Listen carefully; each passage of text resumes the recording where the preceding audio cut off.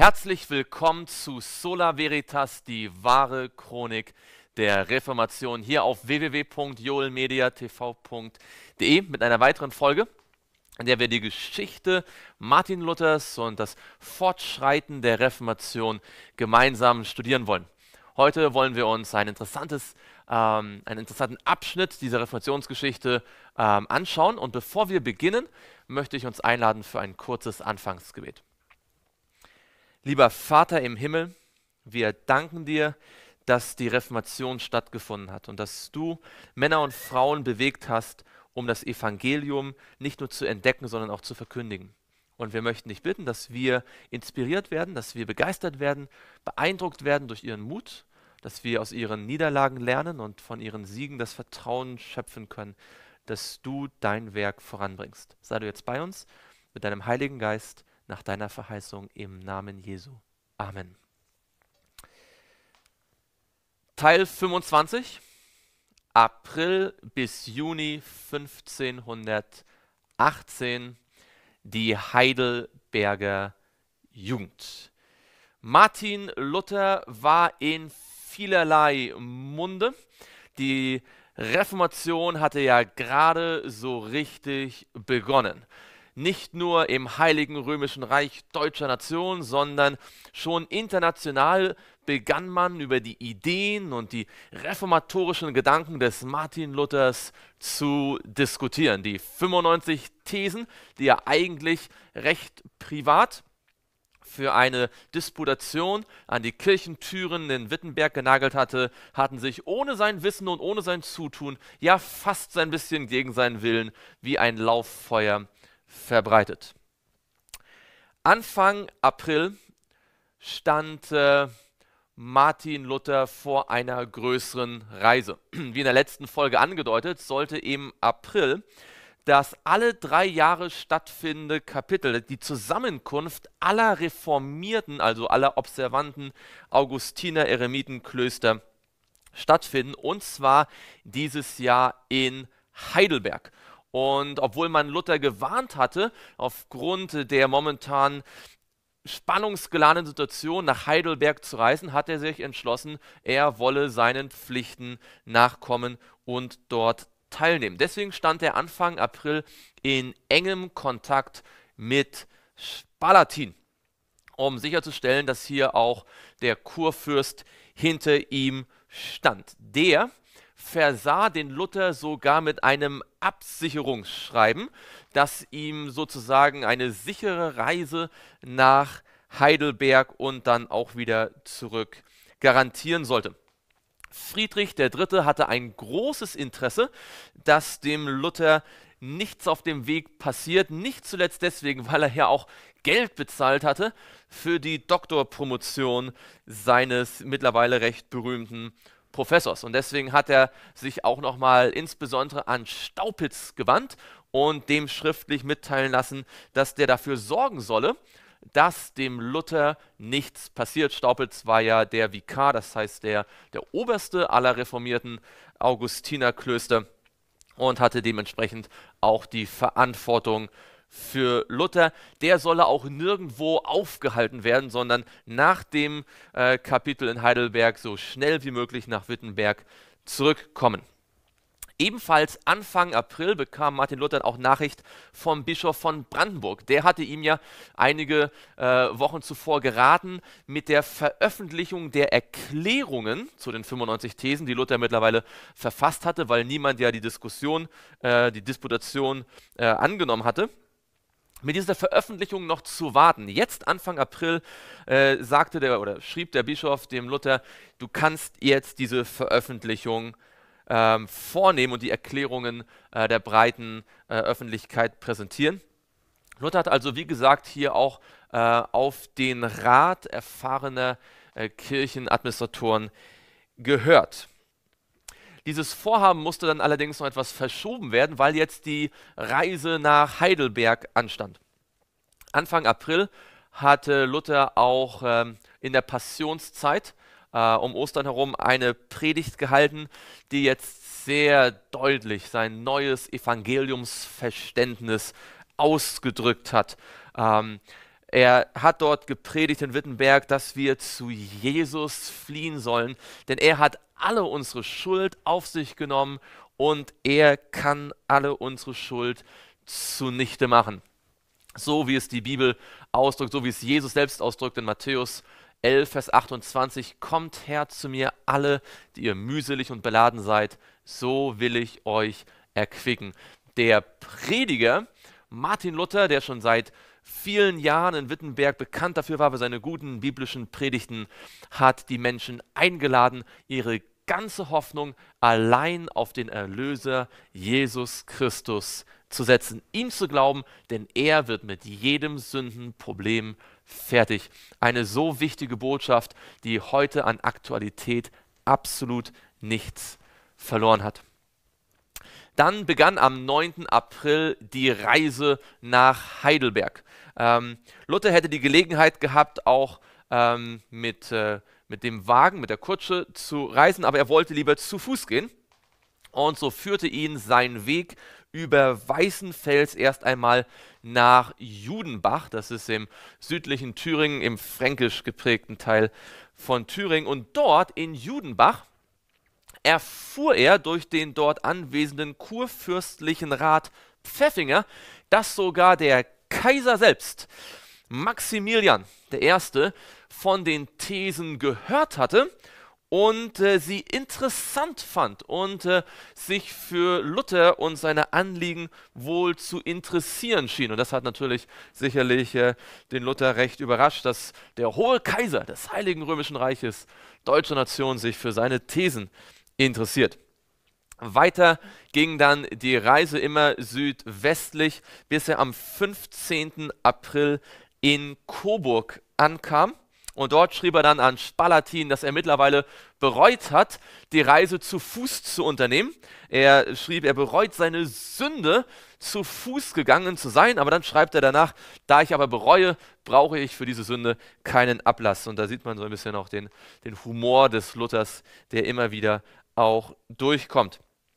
Drei Tage später, äh, nachdem er dann weiter äh, gereist ist, kam er in Würzburg an und äh, hat dort äh, einige wenige Nächte im Augustiner Eremitenkloster oder mindestens eine Nacht im Augustiner Eremitenkloster zugebracht. Er hat dort auch einen Begleitbrief noch erhalten von einem Bischof. Und dort in Würzburg traf er auch alte Bekannte seine Ordenskollegen aus Erfurt, den äh, Lang und auch Usingen, seinen ehemaligen Lehrer äh, in der Erfurter Universität in Philosophie, den er dann in der Zwischenzeit in das Augustinerkloster auch ähm, ja, geführt hatte. Und die hatten einen Wagen und nahmen ihn jetzt auf dem letzten Teilstück im Wagen mit, sodass er am 21. oder 22. April Heidelberg erreichte. Und dort wurde Luther zusammen mit äh, Staupitz und auch ähm, dem Lang, seinem guten Freund aus Erfurt, empfangen und zwar von keinem geringeren als vom Pfalzgrafen selbst. Pfalzgraf Ludwig V. war in seiner Funktion einer der sieben Kurfürsten. Ja, der Kurfürst von Kurpfalz. Und äh, Kurpfalz war zu dem Zeitpunkt äh, aufgrund der äh, der Gegebenheiten des Landshuter Erbfolgekriegs noch unter der Reichsacht. Ähm, aber der Kurfürst war natürlich eine sehr bedeutende Persönlichkeit. Und äh, er hat dann Luther und Staupitz und Lang eingeladen und ihnen das Schloss und auch ähm, die Reliquien, die Verteidigungsanlagen, all das gezeigt, was es so in Heidelberg aus Sicht des Kurfürsten, ähm, des Pfalzgrafen, zu sehen gab. Am 25. April begann dann das eigentlich, die eigentliche Veranstaltung, diese Zusammenkunft aller reformierten Augustinerklöster in Heidelberg. Und bei der Gelegenheit wurde Staupitz wiedergewählt als der Vikar, als der Oberste über alle reformierten Augustinerklöster. Auch Luther äh, war ja seit drei Jahren zumindest ein Distriktsvikar, das heißt, er hat einen bestimmten Bezirk, einen bestimmten Distrikt von äh, ungefähr zehn Klöstern die Oberaufsicht gehabt, aber in dieser Rolle ist Luther nicht wiedergewählt worden, sondern abgelöst worden und äh, sein Freund Lang in Erfurt hat äh, diese Rolle bekommen. Das bedeutete für Luther, dass er ein wenig äh, von administrativen Aufgaben befreit war und das war sicherlich auch äh, nicht unwichtig dann im Laufe der Reformationsgeschichte, ähm, dort etwas mehr Freiheit zu haben. Interessanterweise stand das Thema Ablass überhaupt wohl gar nicht auf der Tagesordnung und es wird zumindest in den uns überlieferten Quellen und Berichten mit keinem einzigen Wort erwähnt. Ein Freund von Luther, der Kaspar Güttel mit seinen 47 Jahren, wurde zum obersten, also zum Vorsteher, zum Prior des Konventes in Eisleben gewählt. Also Leute, die auch zu Luther hielten und theologisch auf seiner Seite standen, hatten also nach wie vor keinerlei Probleme, äh, gewählt zu werden unter den Observanten, den reformierten Augustiner Eremiten. Einen Tag später, am 26. April, kam es dann zu der berühmten Heidelberger Disputation im Vorlesungssaal des Augustiner Klosters. Das steht heute nicht mehr, aber an dem Platz ähm, ist heute noch eine Gedenktafel zu sehen, wo diese öffentliche Disputation stattfand. Zu dieser öffentlichen Disputation gab es Thesen, die diskutiert werden sollten. Diese Thesen hatte niemand anders verfasst als Luther selbst. Nicht 95, sondern 40 neue Thesen, die Thesen von Heidelberg. Er selbst hat sie nicht verteidigt, sondern ein gewisser Leonhard Bayer. Aber Luther hat sich als Vorsitzende der Disputation immer wieder natürlich in den Gang der Diskussion eingeschaltet. Diese 40 Thesen hatten äh, zwölf Thesen über die Philosophie, da ging es wieder um die Frage mit Aristoteles und dem, und dem Evangelium, und dann 28 Thesen über die Theologie und die hatten es in sich, vor allem die letzten. Wir wollen der ähm, Vollständigkeit halber sie kurz hier einmal erwähnen. Und man muss sich vorstellen, da waren also all die Theologen von Heidelberg dabei. Viele von denen waren nicht so besonders äh, bedeutend in ihrer ähm, theologischen äh, Ausbildung oder ihrer theologischen Wirkungskraft. Und für sie war diese Theologie von Luther vollkommen fremd. Hier die Thesen, die Luther disputieren ließ. 13. These. Das Gesetz, die heilsamste Lehre des Lebens, kann den Menschen nicht zur Gerechtigkeit bringen. Es ist vielmehr ein Hindernis auf dem Weg dazu. Noch viel weniger bringen Menschenwerke das fertig und würden sie gleich mit Hilfe der natürlichen Eingebung, wie man sagt, immer von neuem wiederholt. Also weder die zehn Gebote, weder das Gesetz Gottes, noch die menschlichen Werke können einen Menschen von alleine zur Gerechtigkeit bringen. 15 und 16, die Werke der Menschen, wenn sie auch noch so sehr in die Augen fallen und gut zu sein scheinen, müssen doch als Todsünden gelten. Also das, was wir als gute Werke bezeichnen, sind ohne Jesus Christus doch nur Sünden und die zum Tod führen. Vers 16, äh, 16. These, die Werke Gottes, wenn sie gleich nicht in die Augen fallen und schlecht zu sein scheinen, sind in Wahrheit doch unsterbliche Verdienste. Also sieht man, wie diese Thesen aufeinander bezogen sind und Kontraste bilden. 17.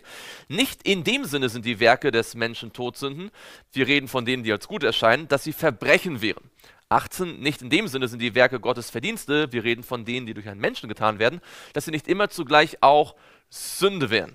Also Gott wirkt im Menschen, aber trotzdem, da der Mensch sie dann tut, das, was Gott in ihm wirkt, ähm, ist es immer auch schwach und wie Luther sagt, Sünde. 19. These, die Werke der Gerechten wären Todsünden, würden sie nicht in frommer Gottesfurcht von den Gerechten als Todsünden gefürchtet. 20. Noch viel mehr sind die Werke der Menschen Todsünden, wenn sie ohne Furcht in unverfälschter und böser Selbstsicherheit getan werden. 21. Zu erklären, dass die Werke ohne Christus zwar tot seien, aber keine Todsünden, scheint mir eine gefährliche Preisgabe der Gottesfurcht. Also die Idee war, die Scholastiker haben gesagt, naja, wenn wir ohne Christus leben, dann sind es zwar tote Werke, aber weil wir ja doch etwas Gutes in uns haben, sind wir deswegen nicht automatisch äh, dem Tode verfallen, im Sinne, dass wir Todsünden begangen haben. Und Luther sagt, das ist eine, eine, ein, ein großer Unfug. 22. Es ist wahrlich schwer zu verstehen, wie denn solch ein Werk tot sein soll und dennoch keine schädliche Todsünde. 23. Der Vermessenheit kann man nur da entgehen und da wahre Hoffnung Und wahre Hoffnung kann allein da sein, wo man bei einem jeglichen Werk Furcht hat vor dem Gericht der Verdammnis. Also Luther sagt, wenn man wirklich ein gläubiges Leben leben will, dann sollte man bei allem, was man tut, bedenken, es wird ein Gericht geben. Und nur dann wird man nicht vermessen sein. 24. Dann sind die Sünden vor Gott wirklich lässliche Sünden, wenn sie von den Menschen als Todsünden gefürchtet werden. Also die Idee ist, äh, diese Idee von lässlichen Sünden und Todsünden, Todsünden ist eine katholische Idee, der Luther hier noch ganz äh, beipflichtet. Äh, lässliche Sünden sind Sünden, über die Gott quasi hinwegsieht. So hat man sich das in der Kirche vorgestellt. Und Todsünden sind die Sünden, die wirklich dann zum Tod führen. Und Luther sagt nur, wenn ein Mensch äh, die, die, die Sünden als Todsünden fürchtet, dann kann Gott sie auch also darüber hinwegsehen oder sie vergeben. 25. Der freie Wille nach dem Sündenfall ist nur noch eine Bezeichnung und wenn er tut, so viel wie möglich ist, tut er Todsünde. Hier muss man immer bedenken, dass Luther aus der Perspektive schreibt, ohne Christus. Also der freie Wille kann ohne Christus, obwohl er zwar theoretisch frei ist, nichts Gutes aus sich selbst heraus tun. 26.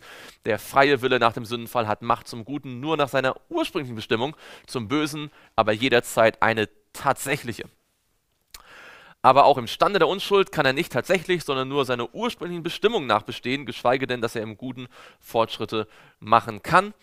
28. Der Mensch, der da meint, er wolle dadurch zur Gnade gelangen, dass er tut, so viel ihm möglich ist, häuft Sünde auf Sünde, sodass er doppelt schuldig wird. Also wenn Menschen glauben, naja, er lässt etwas Gutes in mir und ich, und ich will ja eigentlich gut sein und ich versuche jetzt so viel an mir liegt, Gutes zu tun, dann, dann kommt nur Sünde auf Sünde und Sünde. Wir haben zwar einen freien Willen, aber der war eigentlich gegeben ähm, um vor dem Sündenfall mit Gott kooperieren zu können. Ohne Gott wird der freie Wille immer das Böse wählen. Das ist quasi die Idee, die Luther hier deutlich macht. 29 also nach dem Sündenfall natürlich. 29. So reden, das heißt nicht dem Menschen Anlass zur Verzweiflung geben, sondern ihn zur Demut rufen, damit er die Gnade Christi suche. Also mit diesen Thesen möchte Luther nicht die Menschen verzweifeln lassen, sondern er möchte sie zu der Gnade Jesu führen. 30. Ganz gewiss muss ein Mensch an sich selbst verzweifeln, um für den Empfang der Gnade Christi bereitet zu werden. Und das ist natürlich äh, in gewisser Weise in Spannung zu 29, aber sehr wichtig, denn nur ein Mensch, der versteht, der an sich verzweifelt ist, der versteht, ich kann aus eigener Kraft wirklich nichts Gutes tun, der wird wirklich die Gnade Jesu wertschätzen. 31. Der ist es nicht wert, ein Theologe genannt zu werden, der Gottes unsichtbares Wesen durch seine Werke erkennt und versteht, aber der verdient ein rechter Theologe genannt zu werden, der das, was von Gottes Wesen sichtbar und der Welt zugewandt ist, als in Leiden und Kreuz sichtbar gemacht begreift. Hierzu muss man verstehen, dass Luther in der Zeit so ein bisschen zwei Dinge gegeneinander ausspielt. Das eine ist die sogenannte Theologie der Herrlichkeit, das, was Gottes schöpferische Kraft, das man in seiner Natur sehen kann, und dann die Theologie des Kreuzes. Dabei ist Luther eigentlich nicht gegen die Schöpfung und nicht gegen die Herrlichkeit Gottes. Er will nur sagen, wenn ein Theologe das Kreuz nicht im Mittelpunkt hat und sich allein darauf beruft, dass Gott Schöpfer ist und ähm, große Dinge getan hat, dann wird das nicht sein Herz verändern. Und deswegen ist die Theologie des Kreuzes so entscheidend. Und wer das Kreuz vernachlässigt und sich nur quasi an dem Schöpfergott freut, aber das Wesen der Liebe Gottes im Kreuz nicht erkennt, der wird zu falschen theologischen Schlussfolgerungen kommen. 33. Der Theologe der Herrlichkeit nennt das Schlechte gut und das Gute schlecht. Der Theologe des Kreuzes nennt die Dinge, wie sie wirklich sind. Und das mit der Erklärung kann man das dann, glaube ich, ganz gut verstehen hier. 34. Jene Weisheit, die Gottes unsichtbares Wesen in den Werken erkennt und schaut, bläht auf, macht blind und verstockt. Und das Gesetz wirkt den Zorn Gottes. Es tötet, verflucht, klagt an, richtet und verdammt alles, was nicht in Christus ist. Und dann 36, nun ist wohl jene Weisheit nicht an sich schlecht und das Gesetz ist nicht zu fliehen, aber der Mensch missbraucht ohne die Theologie des Kreuzes das Beste zum Schlimmsten. Also hier erklärt Luther weder die Theologie der Herrlichkeit, weder die, die, die Schöpfung, noch die Weisheit Gottes, noch sein Gesetz. Nichts von dem ist schlecht in sich, aber ohne das Kreuz, ohne die Offenbarung der Liebe Gottes wird all das missbraucht und für falsche Theologie verwendet. Und jetzt kommen wir zu den äh, entscheidenden drei, vier letzten Thesen die so besonders große äh, Wirkung entfaltet haben. 37, nicht der ist gerecht, der viele Werke tut, sondern wer ohne Werke viel an Christus glaubt. Das Gesetz sagt, tue das und es geschieht niemals. Die Gnade spricht, an den sollst du glauben, wie hier in und alles ist schon getan. Was für eine wunderbare These. Das Gesetz sagt, tu das und es geschieht niemals.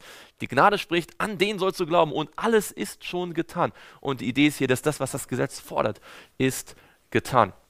Und in den Erklärungen zu diesen Thesen äh, zitiert Luther Bibelverse wie diesen, Römer 10, Vers 10, mit dem Herzen glaubt man, um gerecht zu werden, und mit dem Herzen bekennt man, um gerettet zu werden. Oder Römer 3, 28, so kommen wir nun zu dem Schluss, dass der Mensch durch den Glauben gerechtfertigt wird, ohne Werke des Gesetzes. Die zwei letzten Thesen. Mit Recht könnte man Christi Werk wirkend, im lateinischen Operanz nennen, und das unsere gewirkt, lateinisch Operatum. Und somit sagen, dass dank des wirkenden Werkes das gewirkte Werk Gott gefällt. Die Idee ist also, Luther weiß, wir tun ja Werke, aber wenn unsere Werke Gott gefallen, dann nicht, weil wir sie getan haben, sondern weil Christus in uns wirkt. Und hier sehen wir, dass äh, die Theologie des Luther bei weitem nicht nur die Sündenvergebung beinhaltet, sondern die Tatsache, dass Christus uns nicht nur vergibt, sondern in uns wirkt, sodass dann die Werke Gottes in uns, die wir wirken, weil Christus in uns wirkt, Gott gefällt. Und dann Vers 40, die vielleicht berühmteste der Heidelberger Thesen und die schönste mit Sicherheit. Die Liebe Gottes findet nicht vor, sondern schafft sich, was sie liebt. Die Liebe des Menschen entsteht nur an dem, was sie liebenswert findet. Also Luther sagt, ein Mensch liebt nur das, was er liebenswert findet. Also er, er, er, sieht die Dinge, die betrachtet sie und sagt, das liebe ich, das liebe ich nicht, das ist liebenswert, das ist nicht liebenswert. Und dann liebt der Mensch nur das, was es sich lohnt zu lieben, aus seiner Sicht. Aber Gottes Liebe ist anders. Gottes Liebe findet nicht etwas vor, das er lieben könnte, sondern er schafft sich das, was er liebt. Mit anderen Worten, er schaut nicht auf den Menschen und sagt, oh, das ist ein Mensch, der tut gut, dann könnte ich ihn ja lieben, weil er das und das getan hat. Sondern Gottes Liebe schafft sich das, was sie liebt. Und das bedeutet, dass ein Mensch ohne jegliche Vorleistung zu Gott kommen kann, weil alles das, was Gott in uns liebenswert findet, er selbst in uns schafft. Was für eine gewaltige These, was für eine wunderbare Botschaft, ein großartiges Evangelium. Und das zeigt, worum es wirklich in der Theologie des Luther ging. Und er zitiert auch hier wieder Bibelverse, zum Beispiel Epheser 5, Vers 1, werdet nun Gottes Nachahmer als geliebte Kinder, in dem Sinne, dass Gottes, das Christi Werk in mir wirken soll. Luther machte damit gigantischen Eindruck. Die Aristotel aristotelischen Theologen von Heidelberg waren völlig überfordert und kamen überhaupt gar nicht mit. Aber die Jugend, die Studenten, die jungen Magister waren Feuer und Flamme für diese neuen Ideen. Unter anderem zum Beispiel Martin Butze. Der war damals schon 26. Er war ja ein junger Dominikaner. Wir haben schon einiges über ihn hier und dort gehört. Er war an sich für den Humanismus sehr interessiert und er schrieb jetzt dann Beatus Renanus, seinen Freund, über diese Disputation und sagte, der Luther habe auf alle Argumente biblisch beantworten können. Und Martin Butzer sagt, das war so, als wäre Paulus da gewesen. Und Butzer, von dem, was er an diesem einen Tag von Luther hört, versteht den Luther so, als wäre der quasi der gleichen Meinung wie Erasmus von äh, Rotterdam, nur noch kühner und offener, als es Erasmus sei. Butzer hat dann äh, Luther auch persönlich besucht und sich äh, für Luther interessiert. Auch der Pfalzgraf war dabei gewesen und hat später gesagt, Luther habe sich bei dieser Diskussion sehr geschickt verhalten. Unter den vielen jungen Akademikern, die Luther begeistern konnte, war zum Beispiel Erhard Schnepf, 22 Jahre alt. Er hatte erst in Heidelberg Jura begonnen, dann Theologie studiert, war in diesem Jahr 1518 dann zum Baccalaureus der Theologie geworden, hat dann weiter Jura studiert, weil er sich die Doktorpromotion nicht leisten konnte. Und äh, er wurde ein eifriger Verteidiger der Lehre Luthers, genauso wie Johannes Brenz der kam aus Württemberg, aus Weil, der Stadt, war total begeistert von Luther und begann jetzt sogar in eigenen Vorlesungen über das Matthäusevangelium die Ideen und, äh, und Lehren von Luther zu präsentieren. Das wurde ihm allerdings relativ schnell untersagt. Noch einer, der ganz begeistert war von Luther, war der erst 14-jährige Paul Büchelin, den man später als Paul Fagius kennenlernen wird.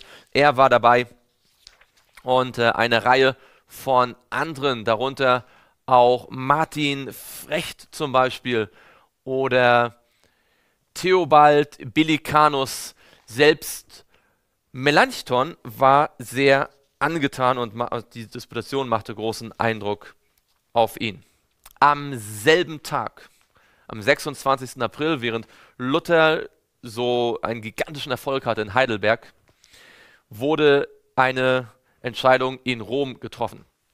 Papst Leo der Zehnte suchte einen Legaten, einen Bevollmächtigten, einen Abgesandten für den Augsburger Reichstag, der im Sommer stattfinden würde. Und auf diesem Reichstag sollte dieser Legat für eine Türkensteuer werben. Man wollte Geld haben, um eine Armee auszurüsten, um gegen die Türken vorzugehen. Das war allerdings in Deutschland sehr ähm, kritisiert worden, weil ohnehin Rom schon sehr viel Geld aus den Ländern sog. Und der ursprüngliche Kardinal Farnese, der vorgesehen war als Legat, ließ sich krank schreiben und so musste ähm, Papst Leo X. einen neuen Legaten finden und er fand ihn in Kardinal Giacomo de Vio Gaetano, besser bekannt als Thomas Cajetan. Der war ein Dominikaner, ein sehr gelehrter Anhänger von Thomas von Aquinas und seit 1508, das heißt seit zehn Jahren, der Oberste des Dominikanerordens. Er war jemand, der sehr stark die Autorität des Papstes förderte. Er galt als einer der besten Theologen Roms überhaupt. Er war wortkarg, hochmütig, aufbrausend, aber auch maßvoll im Urteil, eine äußerst schillernde Persönlichkeit. Zu dem Zeitpunkt ahnte niemand, dass auch die Luthersache auf der Agenda des Reichstags stehen könnte. Anfang Mai, im April, Anfang Mai veröffentlichte Tetzel dann 50 neue Thesen. Nachdem er Anfang des Jahres schon äh, sein Frankfurter Kollege Wimpinau 106 Thesen gegen Luther veröffentlicht hatte, waren diese 59 Thesen jetzt direkt von Tetzel verfasst. Und hier ging er in die Vollen. Er behauptete, Luther sei in einer Linie zu sehen mit den bekannten Ketzern Wycliffe und Huss, die auf dem Konstanzer Konzil vor über 100 Jahren verdammt worden waren. Das war natürlich ein äh, schwerer Vorwurf, ein schwerer Angriff, den Luther so nie hätte gelten lassen können zu dem Zeitpunkt.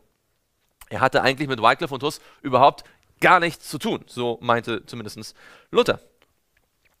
Tetzel hat den Ablass verteidigt und zwar mit folgender interessanter Begründung. Er sagte, nach Lehre der Scholastiker ist es besser, sich selbst zu lieben, als andere zu lieben. Und deswegen ist nach scholastischer Lehre offensichtlich der Ablass, der für einen selbst ist, besser als die Nächstenliebe. Und er kündigt an, weitere Thesen verfassen zu wollen, in denen er Luther als den Erzketzer schlechthin herausstellen wollte. Also da braute sich wirklich was zusammen in Frankfurt oder wo der Tetzel ja zu dem Zeitpunkt äh, als Student eingeschrieben war. Während Luther in Heidelberg war, tat sich auch etwas in Wittenberg. Karlstadt, sein äh, Kollege an der Universität, war so enttäuscht über das Verhalten von Johannes Eck, das wir in der letzten Folge angeschaut haben, als der Eck dann äh, diese Schrift Obeliski gegen Luther verfasst hat und äh, das öffentlich geworden war.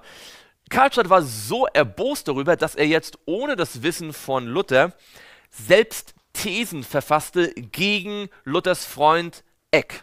Und zwar sage und schreibe 380 Thesen, die werden wir heute nicht alle anschauen.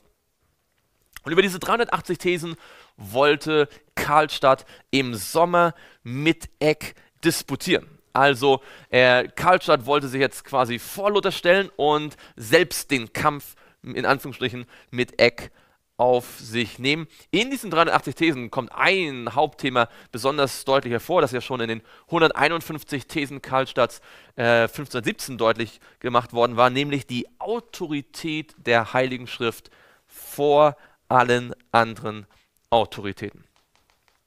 Am 1. Mai machte sich der spanische Entdecker Juan de Grijalva von Kuba aus Richtung Yucatan.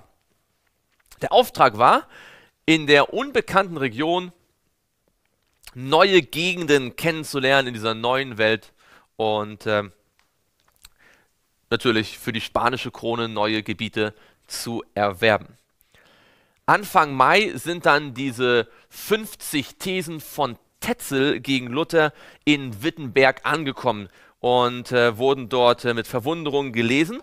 Der Tetzel hatte offensichtlich sich sogar in dem, in dem Stil an den 95 Thesen orientiert und er vertrat eine radikale Papsttheorie. Nach Tetzels Auffassung konnte der Papst gar nicht irren und hatte alle Gewalt und jede Abweichung von Rom sei eine absolute Häresie. Und da, um dem Ganzen noch eins draufzusetzen, behauptete Tetzel, wer die Häresie duldet und nicht dagegen einschreitet, der macht sich ebenfalls schuldig, und das war natürlich ziemlich unverhohlen, ein Angriff auf den Kurfürsten Friedrich III. selbst. Tetzel hat damit ganz bewusst gezündelt und einen Autoritätenkonflikt heraufbeschworen.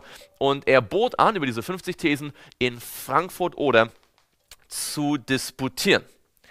In der ersten Maihälfte reiste dann äh, Luther wieder Richtung Wittenberg. Auf dem Weg hat er versucht, seinen alten Freund Usingen, den alten Lehrer, ähm, zu, für sich zu gewinnen. Und der war schon sehr verwundert und erstaunt, aber nicht wirklich überzeugt. Und Luther ahnte schon, dass in Erfurt seine Theologie wohl nicht äh, sich durchsetzen würde. Am 8. Mai war er dann auf dem Rückweg tatsächlich auch in Erfurt und er wollte unbedingt seinen alten Philosophielehrer Trudvetter sprechen. Zunächst kam es nur zu einem schriftlichen Austausch, dann noch zu einem Gespräch. Trudvetter war ein, ein echter aristotelischer Logiker an der Universität und, und Luther wollte ihm jetzt deutlich machen, schau, wenn ich jetzt gegen Aristoteles bin, dann hat das biblische Gründe und wenn ich äh, die scholastische Logik verlasse, dann, dann, dann einfach, weil das Wort mich dazu treibt, und er wollte ähm, Trudwetter überzeugen, aber das funktionierte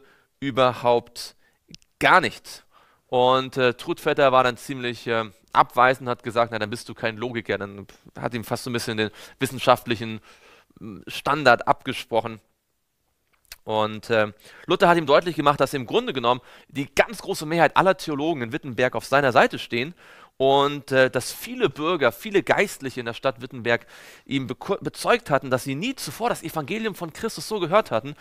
Ähm, Luther wollte also deutlich machen, diese Theologie, die ich entdecke in der Bibel, die bringt wirklich echte, gute, geistliche Frucht. Aber das stieß bei seinem alten Philosophieprofessor auf taube Ohren. Luther hat im Umgang mit Trudvetter keine Polemik walten lassen, wie dann äh, später mit einigen Gegnern. Er wusste, was er dem Trudvetter zu verdanken hatte. Und äh, Luther wusste jetzt, die Kirche muss reformiert werden, aber diese Kirche kann nur reformiert werden, wenn auch die Universitäten reformiert werden. Und deswegen wollte er unter anderem den Trudvetter gewinnen, aber das äh, war dann ja, zum Scheitern verurteilt, Trudvetter glaubte, Luther sei letztendlich ein Ignorant und war nicht bereit, die Argumentation von Luther nachzuvollziehen.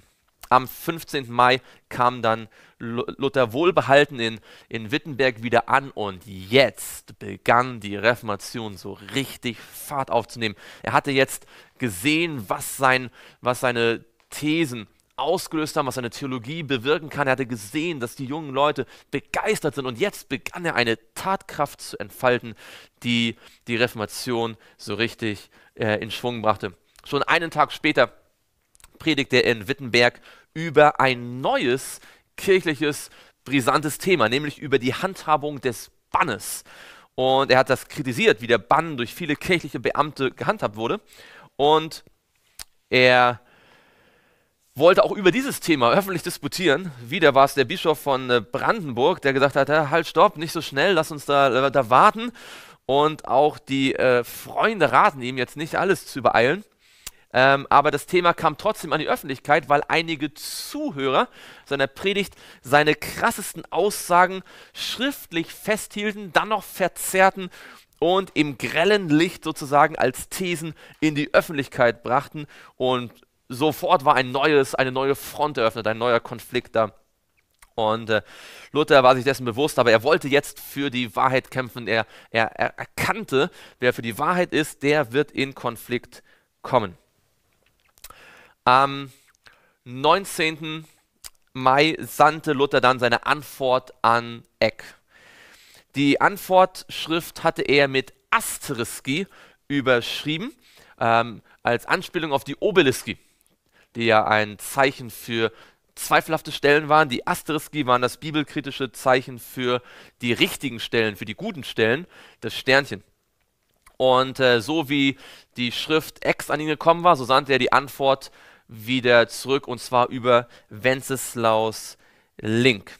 Er schrieb auch einen ähm, Begleitbrief an den Johannes Eck, aus dem wir kurz hier zitieren, die zeigen, wie verbittert Luther eigentlich darüber war, dass sein Freund, mit dem die Freundschaft ja gerade erst begonnen hatte, vor etwas über einem Jahr, so ihn hintergangen hatte und öffentlich gegen ihn geschimpft hatte. Da schreibt er hier, es sind mir zu mir etliche Obelisten gekommen, in welchem du versucht hast, meine Thesen über den Atlas zu vernichten. Und es ist ein Zeugnis für deine treue Freundschaft, welche du mir aus freien Stücken angetragen hast, ja, der evangelischen Liebe, durch welche uns geboten wird, den Bruder zu ermahnen, ehe wir ihn anklagen. Also man spürt die Satire, die, die, die Bitterkeit hier ein bisschen. Wie konnte ich, einfältiger Mensch, glauben oder vermuten, dass du rücklings gegen mich handeln wolltest, da du doch so schmeichelnd gegen den Bruder gewesen bist? Und auch du hast die Schrift erfüllt und zitiert er das äh, Wort aus Psalm 28, Vers 3, dass mich nicht weggerafft werde mit den Gottlosen und mit den Übeltätern, die friedlich reden mit ihrem Nächsten und doch Böses im Sinn haben. Dann schreibt er hier, du hast jetzt die freie Wahl. Wenn du willst, bewahre ich dir meine Zuneigung und werde deinen Angriff fröhlich herunterschlucken. Jedoch weißt du, wie ich sehe, von der Theologie wenig mehr als leere Hülsen von Meinung der Scholastiker. Was du gegen mich ausrichten wirst, sollst du dann erkennen, wenn du beginnst, dem Friedenkrieg und der Liebe blindes Wüten vorzuziehen. Also Luther droht ihm, wenn du weitermachst, dann sollst du mich kennenlernen. Der Herr aber verleihe dir und mir eine gute Gesinnung und lasse es uns beiden wohl ergehen. Also hier sieht man, dass zu dem frühen Zeitpunkt die Sache nicht gleich auseinandergebrochen ist. Es hätte die Chance bestanden zur friedlichen Einigung. Ich lege für meine Person trotz der erlittenen Kränkung die Waffen nieder. Nicht aus Furcht vor dir, sondern vor Gott. Danach werde ich keine Schuld auf mich laden, wenn ich gezwungen sein sollte, mich öffentlich zu verteidigen. Aber das sind gut gemeinte Worte. In den, äh, in den Asteriski selbst geht es zum Teil auch sehr polemisch zu und äh, schon dort wird deutlich, dass Luther und Eck äh, im Grunde genommen an völlig verschiedenen äh, Stellen sind, auch oft einander vorbeireden fast ein bisschen und äh, alles das, was, was Eck als selbstverständlich betrachtet, die, die, die Scholastiker und die, was die Kirche alles so lehrt, ist für Luther schon längst nicht mehr so selbstverständlich. Und ähm, in einer zentralen Aussage sagt er hier in diesen Asteriski, es sei Christus mit mir und sein Wort und ich werde nicht fürchten, was die ganze Welt mir auch tun mag. Und das waren für Luther nicht nur leere Worte, wie der Gang der Geschichte zeigen wird.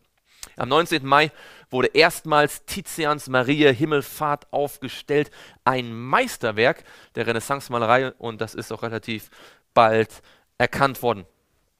Am 22. Mai hat dann Luther auch seine Erklärung zu den 95 Thesen ähm, handschriftlich an den Brandenburger Bischof geschickt und in einem Begleitbrief so einen Abriss gegeben, was bisher in diesem Ablassstreit so alles passierte. Der war jetzt schon über ein halbes Jahr alt und Luther gibt so einen Überblick, wie das bisher so ähm, vonstatten geht.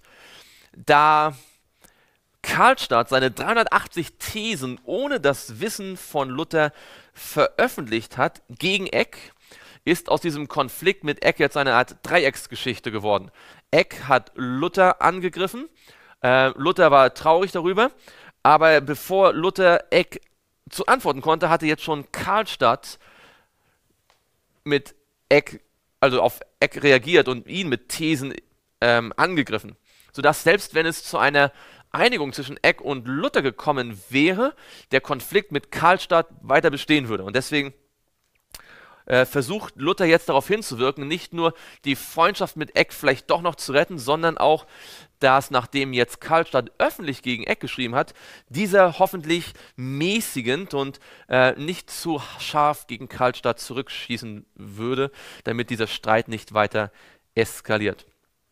Ende Mai, am 30. Mai, hat dann Luther diese Resolutionen auch an Staupitz gesandt. Der solle sie an den Papst weiterleiten. Noch einmal berichtet Luther hier in einem Begleitbrief, wie seit 1515, seitdem Staupitz so, so intensiv mit ihm auch das Evangelium besprochen hat, er sich entwickelt hat und wie das Ganze zum Ablassstreit gekommen ist. Und äh, Luther war sich jetzt bewusst, dass äh, einige Dominikaner ihn wohl beim Papst denunziert hatten. Und er schreibt jetzt direkt an den Papst und ja, bekundet sein Vertrauen, dass äh, der Papst Christus gemäß das Ganze beurteilen wird. Er, er, er erwähnt gegenüber dem Papst, dass äh, an der Universität er großen Rückhalt hat, dass der Kurfürst hinter ihm steht. Aber, und das ist jetzt sehr interessant, äh, Luther unterstellt sich dem Urteil des Papstes, da er ein gutes Gewissen hat und der Leitung der Kirche vertraut. Er macht aber auch gleichzeitig deutlich, dass er auch nicht widerrufen kann, weil er sich ja gar nicht korrekt, weil er sich ja korrekt verhalten hat. Die Hauptgedanken in diesen Resolutionen, diesen Erklärungen zu den 95 Thesen äh, lassen sich kurz zusammenfassen wie folgt. Luther sagt, er kümmert sich gar nicht mehr um den Ablass. Das ist, er hat sich zwischenzeitlich weiterentwickelt in dieser Frage. Und äh, für ihn ist der Ablass völlig nichtig.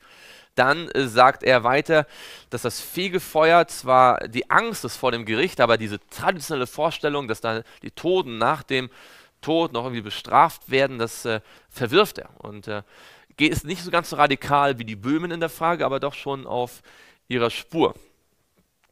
Dann äh, sagt er in diesen Resolutionen, dass die Theologen der Kirche nicht helfen, wie das letzte Konzil im Lateran, das ja gerade erst im letzten Jahr zu Ende gegangen war, bewiesen hat.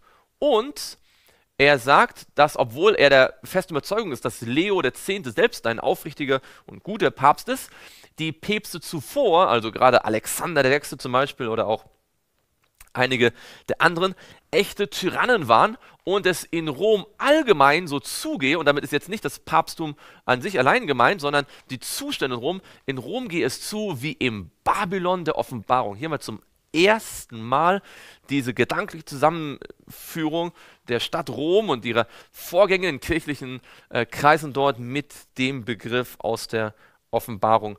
Ähm, dort äh, an dieser Stelle allerdings eher noch als Beschreibung der Missstände in der Stadt sozusagen. Und deswegen schreibt Luther, äh, nee, das müssen wir noch erwähnen, ähm, er schreibt auch, dass der, Schlüssel, dass der Papst keine Schlüsselgewalt über das Fegefeuer hat. Der Papst kann nicht in Dinge hineingreifen äh, und ablassen oder zusätzliche Strafen auflegen, in denen nur Gott etwas äh, bewirken kann. Und dann sagt Luther auch in diesen Resolutionen, dass es eine weltweite Reformation braucht bis dahin muss Kritik erlaubt sein. Interessant ist hier die Perspektive. Luther sieht sich gar nicht als denjenigen, der die weltweite Reformation bringt. Er, gibt, er sieht sich nur als denjenigen, der ein bisschen was kritisiert, bis dann irgendwann die Reformation kommen wird. Er ahnt zu dem Zeitpunkt nicht, dass trotz all dem, was schon passiert ist, dass er der Hauptträger dieser weltweiten Reformation ist. Kam ihm noch gar nicht in den Sinn. Er sah sich nur als derjenige, der berechtigte Anfragen stellte angesichts bestimmter Missstände. Und äh, so wird deutlich, dass er sich selbst seit dem Beginn des Ablassstreites noch einmal theologisch weiterentwickelt hat. Diese innere Reformation ist jetzt absolut geschehen. Er ist jetzt auf theologisch sicherem biblischen Grund. Im Sommersemester hat Luther dann auch noch einmal, noch einmal 50 neue Thesen verfasst, die wir hier nur kurz erwähnen, ohne sie im Einzelnen anzuschauen. Bei diesen 50 Thesen ging es wiederum nicht um den Ablass, sondern es ging um die Buße. Und hier zeigte sich erneut, wie präzise er mittlerweile das Evangelium verstanden hatte. Die Vergebung kommt durch das Vertrauen auf das Wort Jesu. Nicht die Leistung des Bereuenden, nicht die, die Worte, sondern das Wort Jesu gibt Vergebung und dem muss man glauben dieses Evangelium war jetzt sehr deutlich in ihm ähm, ja, entfaltet und er hat an der Universität immer wieder darüber diskutieren lassen und das Ganze verbreitet. Anfang Juni hat Luther dann noch ein Herzensanliegen verwirklicht. Er hat noch einmal die Theologie des Tauler herausgebracht, ein Deutsch-Theologier oder vielmehr das, was er für Tauler hielt. Heute wissen wir das vermutlich, dass ein anonymer Autor war aus dem 14. Jahrhundert der immer wieder auch in die Ecke des Mystizismus gestellt wird, der allerdings hier in dieser Schrift sich äh, eigentlich gegen die mystischen Erfahrungen wendet. Und was der Luther hier so sehr gefallen hat, ist die Tatsache, dass es ein sehr praktisches Werk war, also ohne großen äh, scholastischen, akademischen äh, Ballast, sondern eine sehr praktische Darstellung wesentlicher Evangeliumsinhalte und das auf Deutsch. Und äh, Luther wollte also zeigen, man muss nicht nur, äh, Theologie kann man nicht nur auf Latein oder Hebräisch oder Griechisch machen, sondern auch auf Deutsch. Das war nicht so selbstverständlich. Und das war eigentlich so sein, seine Hauptbegeisterung, die, die praktische Anwendbarkeit dieser theologischen Gedanken hier und die Tatsache, dass es Deutsch war, dass es veröffentlicht, dass es, dass es äh, ja, ver verbreitet werden kann. Und ähm, wir finden ähm, hier Anfang Juni, am 4. Juni, auch einen Brief an Spalatin, wo er sagt, Johann Tetzel hat wieder meinen deutschen Sermon ähm, gleichfalls ein deutsches Büchlein herausgegeben, einen trefflichen Zeugen und Herold seiner Unwissenheit, dem ich Licht hinzufügen werde, damit von allen erkannt werde, wie es beschaffen sei, nicht wie er selbst sein Büchlein ansehen will. Bezug wird hier genommen auf dieses deutsche Buch, das Luther herausgebracht hatte, was wir in der letzten Folge angeschaut haben, über den Ablass. Und Tetzel hat ja darauf reagiert und das ist jetzt hier Luthers Kommentar dazu. Ähm, das hat ihn sehr beschäftigt, wie man auch am, einem anderen Brief vom selben Tag sehen kann. Am 4. Juni schreibt er auch an Lang. Wieder meinen deutschen Sermon hat jener Tetzel eine, seine Possen herausgegeben, gegen den auch ich wiederum mein Fass zurichte. Gott gebe, dass es kein Krüglein werde. Er hat dann äh, tatsächlich eine weitere, ein weiteres ein Traktat, ein Büchlein herausgegeben. Äh, er nannte es die Freiheit des Sermons, päpstlichen Ablass und Gnade belangen. Mit anderen Worten, eine Verteidigung gegen die Widerlegung durch Tetzel. Also er, Luther, hat einen Brief, ein, ein, ein Buch geschrieben über den Ablass. Tetzel hat das angegriffen und jetzt verteidigt er es. Er, er, er zeigt, dass es ein, die Freiheit davon. Und hier ist Luther zum ersten Mal so richtig polemisch und direkt. Und äh, wir wollen hier nur einige äh, Zitate rausgreifen. Aber die Lästerer, und das ist immer Tetzel gemeint, unter anderem, suchen nur das, dass sie durch viele Doktorennamen ihren falschen Predigen Glauben machen, ob sie auch die Schrift darüber sollten zureißen. Und wenn einer nicht mehr in der Schrift verstünde, denn dieser Lästerer stünde es ihm gar ehrlich an, dass er sich enthielte, seine Lästerung zu schreiben und vor das Evangelium recht lernete.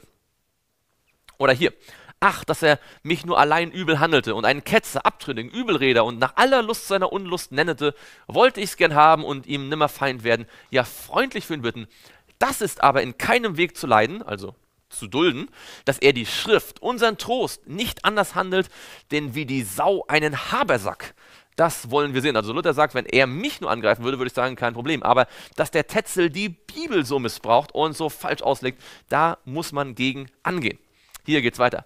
Zum anderen den Spruch St. Gregory, der da klärlich sagt von der Buße, die Christus gelehrt hat, die eine Arznei ist wieder die Sünde. Also wer vorhin ist unkeusch gewesen, sei nun keusch. Wer vorhin gestohlen hat, der sei nun so mild, dass er das Seine gebe. Die göttlichen Gebote durch Gregorium angezeigt, zeugt er mit den Haaren, dass ihm die Schwarten krachen zu der Buße, die der Papst ablegen kann. Also sagt der Tetzel, der macht Gottes Gebote zunichte. Und äh, hier haben wir noch eins. Und der heilige Vater Papst hat wohl volle Gewalt, nicht wie die schädlichen Schmeichler sagen, alle Dinge zu tun, was dem Menschen noch ist zur Seligkeit, denn mit den Worten wäre Christus ausgeschlossen, sondern hat Gewalt zu entbinden alle Sünden, die gebeichtet werden, aber nicht Gewalt in Gottes Gericht und Rat zu fallen. Darum er auch nicht mag ablegen Pein, so sie Gott oder göttliche Gerechtigkeit auflegt. Also die Idee ist, der Papst hat seine, seine, seine Gewalt, aber nur in seinem begrenzten Rahmen und kann darüber hinaus nichts bewirken. Darum irren und trügen alle, die so sagen, dass durch Ablass Pein oder Werke der Genugtuung von Gott aufgesetzt möge abgelegt werden und wollen der Kirche Gewalt mit Gottes Gewalt vermischen und erdichten uns täglich neue Wörter. Claus Excellentia, Claus Autoritatis, Claus Ministrabilis. So lange, bis sie uns alle Beutel und Kasten leer machen und danach die Hölle aufschließen und den Himmel zuschließen. Also hier sieht man, wie, wie der Luther wirklich polemisch zuspitzen konnte und dass das natürlich beim Volk sehr gut ankam. Diese subtilen Verleger haben aus Aristoteles Distinction, Distinction dennoch so viel erlernet, dass sie es dafür halten, dass ein Almosen oder Gutwerk getan dem Nächsten sei nicht ordentlich sich selbst geliebt und nicht sein Selbstseligkeit zum Ersten gesucht, sondern soll vorhin Ablass lösen und also sich sein Selbst am Ersten erbarmen. Also der, der Luther bezieht sich hier auf diese Aussage von Tetzel, dass es wichtiger sei, sich selbst zu lieben, als den Nächsten zu lieben, und deswegen der Ablass besser sei als Almosen. Und Luther erkennt, das kommt von Aristoteles, denn Aristoteles hat tatsächlich so etwas gelernt, äh, gelehrt, denn er war ein Heide. Und hier zeigt sich, wie sehr die Aristoteles-Kritik von Luther das eigentliche Fundament des Ablasskonfliktes ist.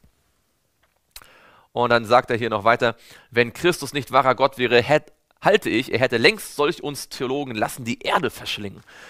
Und äh, dann noch hier zum dritten ist das eine falsche Liebe, die sich am ersten in sich selbst sucht. Denn St. Gregorius spricht, dass göttliche Liebe gegen sich selbst nicht bestehen kann, sondern sie muss sich ausstrecken zu einem anderen. Also Luther hat dieses Wesen der Liebe verstanden und dasselbe Lieben macht rein, wie auch St. Jakobus sagt, dass die Liebe bedecke alle Sünde. Und dass ich mehr sage, sind einmal der Apostel sagt, dass die zugelassenen Dinge nicht förderlich sind zur Seligkeit, sondern was geboten ist. So folget, dass der sicher ist, der das Ablass gar nichts achtet, und der unsicher ist, der das Ablass groß achtet. Denn dieser mag leichtlich in demselben irren, jener kann nicht irren. Denn je weiter von dem zugelassen und näher den geboten, je sicherer Wesens denn Gehorsam. Denn Gehorsam ist gewiss, Freiheit ist gefährlich. Was Luther sagt ist, wenn wir den Ablass missachten und ignorieren, sind wir auf der sicheren Bahn. Wenn wir den Ablass aber sehr achten und wenn wir den, dem Ablass viel Bedeutung zumessen, dann sind wir auf gefährlichem Weg. Es ist besser, gehorsam zu sein, als sich große Freiheiten in der Theologie zu nehmen. Das ist also die interessante Idee von Luther hier. Und dann hier noch zum Ende am letzten so ermüde worden, die Schrift zu martern oder vielleicht nicht mehr gewusst, gehe das Wetter über mich und bin da ein Erzketzer, Ketzer, Abtrünniger, Irriger, Frevler, Übelreder. Dazu antworte ich, Gott gebe mir und dir seine Gnade. Amen. War da sehr schlagfertig. Und allerletztes Zitat hier, dass er mir aber zum Stock, Kerker, Wasser und Feuer beutet, also er droht mit diesen Dingen, kann ich, armer Bruder, nicht weigern, wiewohl auch ich wiewohl auch für ihn selbst wäre mein teuer Rat, er erböte sich mit Bescheidenheit zum Rebenwasser, also dem Wein, und zum Feuer, das aus den gebratenen Gänsen raucht, des er Bars gewohnet. Also Luther sagt, okay, der Tetzel, der droht mir mit, mit Feuer und Wasser und will mich töten. Und ich sage, Tetzel, ich rate dir, trink weniger Wein und iss nicht so viel gebratene Gänse. Ja. Das also, da haben wir den Luther jetzt, wie man ihn dann von später kennt, zum ersten Mal so richtig in Hochform was seinen polemischen Stil angeht. Anfang Juni sind dann auch die Resolutionen druckfertig und äh, trotzdem verzögert sich der Druck, weil es Probleme mit der Druckerei in Wittenberg gibt. Zu der Zeit wird zum ersten Mal jetzt der Prozess gegen Luther oder wird der Prozess gegen Luther formal eröffnet in Rom. Albrecht hatte geklagt, Albrecht von Brandenburg im Dezember schon. Und möglicherweise waren auch andere Parteien beteiligt, das weiß man heute nicht mehr so genau. Aber Anfang Juni wird der Prozess formal gegen Luther eröffnet. Der päpstliche Fiskal Marius de Perusco ist Ankläger. Er beantragt den Prozess und beauftragt mit dem Gutachten wird ein Dominikaner, ein Hoftheologe des Papstes, sein Name war Silvester Mazzolini, genannt Prierias. Er war schon relativ alt. Ähm, und was man dem Luther vorwirft, ist der Verdacht auf Häresie, Geringschätzung der kirchlichen Gewalt und Unehrerbietigkeit gegen das päpstliche Schlüsselamt. Er soll sich innerhalb von 60 Tagen, also zwei Monaten, in Rom verantworten. Der Prierias nun äh, wollte zeigen, wie brillant er ist und hat das Gutachten, das theologische Gutachten, in sage und schreibe drei Tagen verfasst und entsprechend schlampig und oberflächlich ist es gewesen. So oberflächlich, dass man selbst in Rom etwas, äh, etwas äh, ungehalten war über diese, diese doch sehr oberflächliche Arbeit. In seinem Gutachten stellt der Prierias vier Prinzipien auf. Erstens, der Papst ist Haupt und Zentrum der Kirche. Seine Aussagen zu Glaube und Sitte sind unfehlbar. Zweitens, die Lehren Roms sind unfehlbare Glaubensregel und autorisieren sogar die Schrift. Mit anderen Worten, die Bibel ist autoritativ gültig, weil der Papst sie autorisiert hat. Wer dem nicht glaubt, ist ein Ketzer automatisch. Dann darauf folgen drittens, Rom kann Festsetzungen, also ähm, bestimmte Verordnungen machen über das Glauben und den Leben, wie zum Beispiel den Ablass. Und viertens, wer über diese Lehren schlecht denkt, ist Ketzer. Und damit war die Sache im Prinzip schon im Vorwort klar, dieses Gutachtens. Luther ist Ketzer. Und dementsprechend hat sich der Prierias gar nicht die Mühe gemacht, theologisch die Thesen irgendwie aufzuarbeiten. Zum Teil hat er selbst die, die lächerlichsten Dinge noch versucht zu äh, verteidigen und äh, offensichtlich äh, Luther das Anliegen überhaupt gar nicht verstanden und äh, in drei Tagen dieses Gutachten verfasst. Albrecht, der ja in Rom geklagt hatte, wandte sich auch nach Leipzig. Die haben sich aber geweigert an der Universität, eine Stellung zu beziehen, sondern sie verwiesen einfach auf den Papst, der soll sich darum kümmern, denn es geht um ihn. Außerdem empfiehlt man eine Provinzialsynode mit äh, verschiedenen Bischöfen und Universitäten. Am 8. Juni hat der besagte Juan de Grijalva das mittelamerikanische Festland erreicht, in der Nähe des heutigen Tabasco, im heutigen Mexiko. Und äh, dort hat der Maya-Fürsten, ähm, ist er ihnen begegnet, hat Geschenke ausgetauscht und hat dann in der äh, weiteren Folge den berühmten Rio Grijalva entdeckt, der nach ihm benannt worden ist. Mitte Juni hat äh, Christoph Scheuerl in Nürnberg versucht, die angeschlagene Freundschaft zwischen Luther und Eck doch noch zu retten. Er versucht zu vermitteln und Luther ging auf diesen Versuch ein. Er war zwar der Meinung, dass Eck auf ihn hätte zukommen müssen, aber er sagt, okay, ähm, Scheuerl, ich, ich, ich will das meinige tun und lass uns versuchen, zusammenzukommen. Und so bittet Luther den Eck äh, Mitte Juni schriftlich, bitte nicht zu scharf formulieren, wenn du jetzt auf Karlstadt antwortest. Lass uns Streit vermeiden. Lass uns dafür sorgen, dass es nicht eskaliert. Und das war sein Ansinnen. Am 17. Juni hat Juan de Grijalva zum ersten Mal ein neues Land entdeckt. Bei San Juan de Ulua setzt er als erster Europäer seinen Fuß auf das Gebiet der Azteken. Und äh, das war natürlich eine geschichtsträchtige und schicksalshafte Geschichte. Zum Schluss, während all dessen vor sich ging, studierte Ulrich Zwingli weiter in Einsiedeln und er predigte. Er predigte mit immer größerem Eifer gegen die Wallfahrten und die Missstände. In der Zwischenzeit war auch in der Schweiz ein Ablassprediger, ähnlich wie Tetzel unterwegs. Sein Name war Bernhardin Samson. Wir wissen nicht viel von ihm. Er verschwindet kurz danach wieder aus der Geschichte. Wir wissen, er war Franziskaner und er zog durch die Schweiz ebenfalls im Auftrag des Papstes, um Gelder zu sammeln und den Ablass zu predigen. Als Zwingli darauf aufmerksam wurde, predigt er auch ganz spezifisch gegen diese Aktivitäten von Bernhardin Samson und ähm, so, so wächst Zwingli unmerklich ähm, auch in diese Rolle eines Reformators hinein, der sich den Missständen seiner Zeit und auch gerade dieser Ablassproblematik widmet, obwohl er zu dem Zeitpunkt längst nicht äh, so bekannt und ähm, ja, in der Öffentlichkeit äh, wahrgenommen wird wie äh, Luther. Zwingli wandte sich sogar an die Bischöfe von Sitten und von Konstanz und, und, und forderte eine Verbesserung der Zustände in der Kirche. Zwingli, der im Schatten von Luther dort in Einsiedeln zum Reformator heranreift, durch das Studium der Bibel, durch das Studium ähm, der, der wesentlichen theologischen Lektüre sich weiterbildet und immer mehr so ein, ein Gefühl dafür bekommt, was eigentlich geschehen müsste in der Christenheit. In der nächsten Folge werden wir sehen, wie die Sache mit Luther weitergegangen ist. Dann wird es heißen, der Augsburger Reichstag, Juli bis September 1518. Bis dahin wünschen wir Ihnen Gottes reichen Segen und freuen uns, wenn wir uns hier das nächste Mal wiedersehen auf Julmedia TV, wenn es heißt Sola Veritas, die wahre Chronik der Reformation.